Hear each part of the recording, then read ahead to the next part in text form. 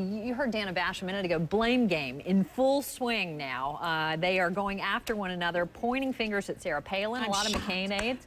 But I mean, Appalling. they picked her. They vetted her. They went up there after one or two meetings and then made the case to the American people. She was qualified. She was ready. Are they scapegoating her here? Yes. In Yeah, a the word? Answer, the answer is yes. Look, uh, for example, your first time on the national stage, you've just been picked governor of any state, and, and this is your first time on the national stage. They put you for two hours in an interview with Katie Couric.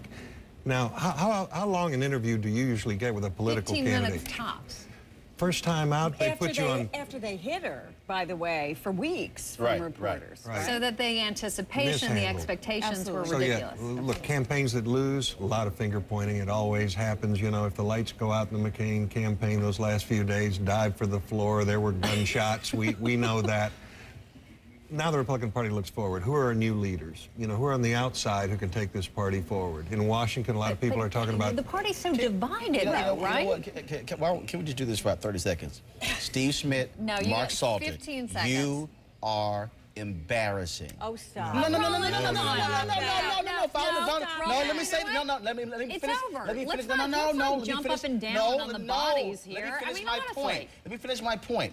You are the top two people in the campaign. She has been dogged for a couple of weeks. You would think you would come out and say, guys, look, this is ridiculous. She did her job. She was a candidate. I believe when you somebody's being trashed, the leaders step up and come out and make the comment. That's my point. I'm not saying that I'm not sitting here saying take up take up to the woodshed, but you assume responsibility. You don't allow that Newsweek story to just trash people like that because it's wrong. It was your candidate. You go down together. Go ahead, That's my point. You know, look, just because they handled her badly, which they did, doesn't mean she was a great candidate, because she wasn't. But nobody's arguing But- that. But but they but they chose her. They're the ones they, who vetted they, her. they, You live they with it, you did choose with her, it. and that's and that's you know that that's really their issue. And and as for whether she's going to become you know the future of the Republican Party, I doubt it. I doubt Do it. Do you think so, I doubt it.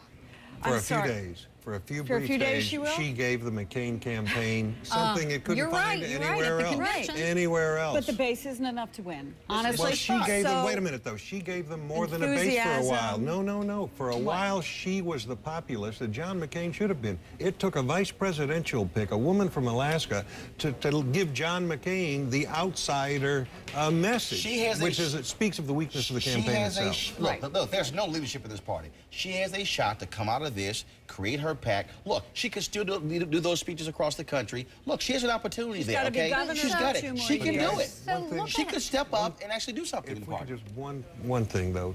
Yes, the McCain campaign could have done better. You know what? Losing campaigns, there's plenty of blame to go know. around. Right. But Well, let's tra- remember, woman. what doomed John McCain was the Republican Party he had to run with.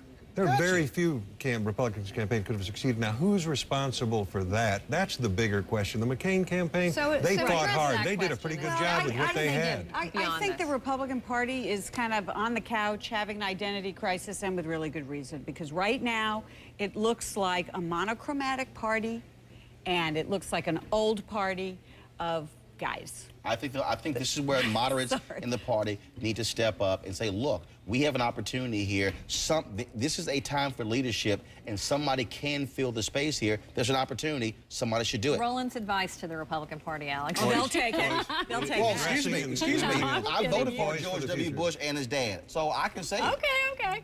Go, go ahead. You get Uh, the we're last poised word. for the future. We're ready for the comeback now. Look, we, there's a tremendous new opportunities worldwide here to grow this economy. Both parties are talking about bottom up. Republicans say it's individual responsibility. Obama says it differently. You should be chairman of the party. All right. Okay, guys. We got to end it there. To Gloria, to Roland, and to Alex. Appreciate it. Thanks so much. In the spirit.